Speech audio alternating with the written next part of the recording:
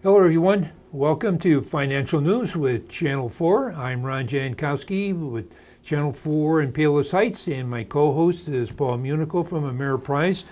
Paul, uh, you're going to give us a summary of what took place last week. I'm sure there's lots of activity to share with the viewers. Definitely. Um, today's show, I'm going to focus on businesses and how they are spending more on productivity um, and enhancing their own equipment. So, amid a shortage of human workers to produce their goods or provide their services, businesses have increasingly turned to automation to enhance or even maintain their output. So, are we finally at the long predicted stage of people being replaced by machines? Well, no and yes, but in our view, mostly no. Um, business owners have always had to balance the cost and functionality of machinery versus that of available human capital. And as annual labor force expansion rates steadily slow, in practicality, all major economies, businesses have needed to employ more equipment to boost human productivity and enable stronger growth. The demographic trends driving such circumstances have been evolving for decades. The onset of pandemic amplified the situation given its disruptive impact on the lives of workers and the labor force in general. In isolation, slower labor force growth would directly mean slower potential economic growth. At its most basic level, any country's potential economic growth rate is a function of how fast its labor force is growing times how productive those workers are. As indicated in the second half of that formula, productivity can be a powerful equalizer. Additionally, machinery is typically most efficient in performing basic tasks. These are typically low skill, low wage jobs. Replacing individuals currently in these functions frees them up to do more value dated tasks, which should further, further boost wages and thus improving the standard of living and enhancing economic growth in kind of a win win result.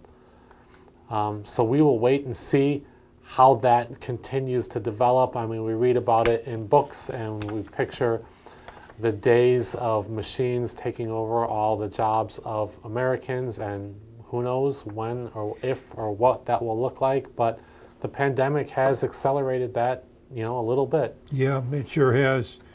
Uh, Paul, I'm going to share with the viewers a note that I have just received this morning from Ameriprise Financial, and they're asking us to share a need to know the S&P 500 is edging higher in early trading as U.S. large cap stocks look to add to last week's record close. So we should see a little surge. Yep, when we initially saw what was going on in Afghanistan, um, the market pulled back a bit, maybe not solely on that reason, but we did see a pullback in the market recently. But it's just been so resilient. Seeing it starting to boost higher again is not anything different than what we've been seeing lately. And the uh, yield on the 10 year Treasury is steady near 1.31% as investor attention turns to the Friday, August jobs number. Yeah, we're always kind of waiting to see what the Fed's going to do with interest rates. Um, they did speak last week, and there's no changes there. So we're looking for direction on fixed income, and right now, no movement, which is fine. Uh, this is uh, interesting to hear that the uh, oil prices dropped from a four-week high as Hurricane Ida weakened, and, uh, force, and after forcing precaution, precautionary shutdowns of the U.S. Gulf oil production. So uh, they were going to shut down or they maybe started. Now they're going to swing back up again. Hopefully, we'll hold the prices steadily. Yeah, we'll see. I mean, a hurricane not being as, I mean, a hurricane is bad, but not being as bad as predicted right. is, right. is good for the oil market. And the last thing is the shares of Affirm uh, are high, are sharply higher after a buy now, pay later company announced a partnership with Amazon. Another company going with Amazon. They're getting bigger and bigger every day. I don't even want to comment on that. Uh, the year year to date uh, uh, index returns are Dow Jones is a plus 17 percent, S&P 500 a plus 21 percent, and the Nasdaq a plus 17 percent. All solid. Staggering numbers. I mean, last year was staggering. Ron, you and I have been doing this show for years. I mean, there's years we had negative numbers, of course. Yes. There's years when we were looking if we can just eke out four or five percent. Remember? Right. And I mean, these are just mind blowing. So let's hope they let's take as much advantage of them as we as can. we can. Yeah. Exactly. Well, stay with us. Um, we're going to be right back with our show called Your Money. Paul usually has a very interesting topic. Stay with us. We'll be right back.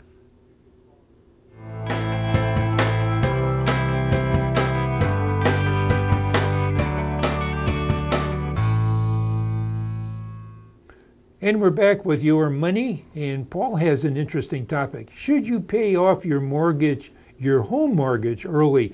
Paul, I'm going to let you take it. Thanks, Ron. You know, I get that question a lot as a financial advisor, and it really is so dependent on everyone's situation and where they're at in life. Um, but let's go through the topic and, and see if that helps answer the question.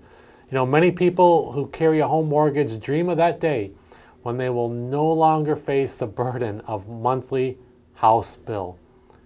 They want the financial freedom and the satisfaction of owning their home outright. Now, does that mean you should be make you should be paying off your mortgage early a priority? You know, that answer depends on your circumstances and goals. One question you should ask yourself is, would the money you spend on your home loan be better spent on or invested in another financial opportunity? So getting a different perspective on debt reducing reducing debt as early as possible could help you avoid costly interest rate charges. Um, you may have experience with this principle if you've eliminated credit card debt or a car loan. While your home mortgage is a type of debt, the same concept may not apply. In certain instances, staying true to your repayment terms, it may be the best for your financial situation for these following reasons. One, the interest rates on mortgages tend to be more reasonable than other types of credit, and the terms often provide more certainty, you know, for example, like a 30 year fixed mortgage rate. Point number two, the interest you pay can potentially be deducted from your taxes. Now, this deduction makes a mortgage much more efficient on an after tax basis than most other forms of debt. If mortgage interest is a part of your tax strategy, consider if you'll be able to itemize deductions once you own your home outright. Now, on the other hand, the earlier you pay off your loan, the longer you could have the opportunity to invest the money each month. This additional investment could help you achieve a more secure financial future. To see if investing may make sense, compare your interest rate to what you could reasonably expect to earn in the market returns.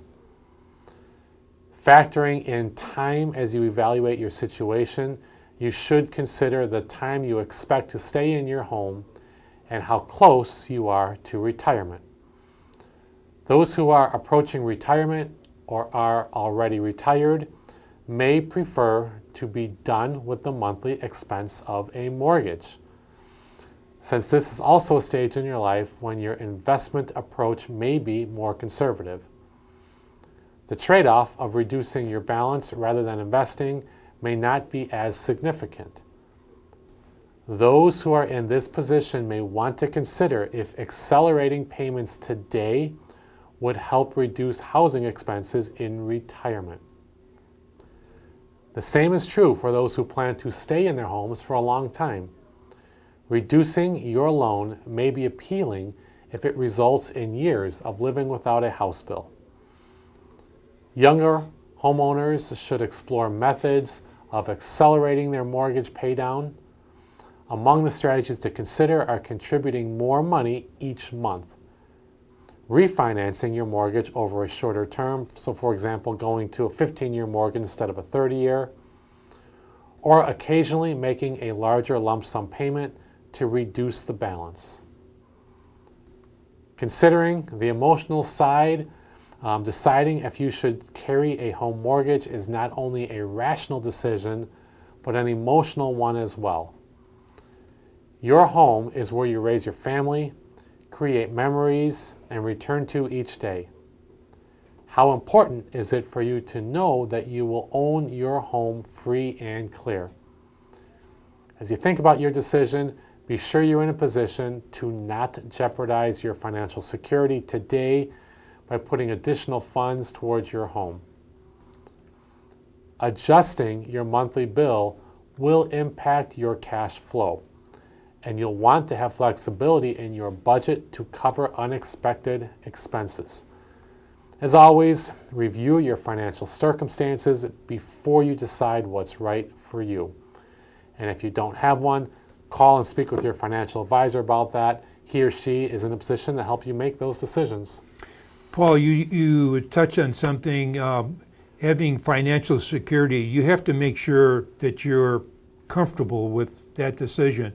And yes, you're right. A financial advisor that can walk through your entire portfolio, what your income levels are, and what you're trying to achieve makes sense for you not only today, but down the road. Yes. Yep. I mean, the situation is so different for everyone. I mean, Everyone. you hear examples of people um, aggressively paying down their home mortgage, but then their bank account suffers.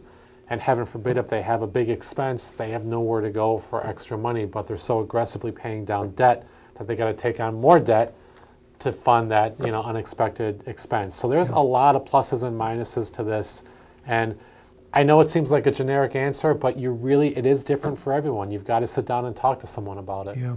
Yeah.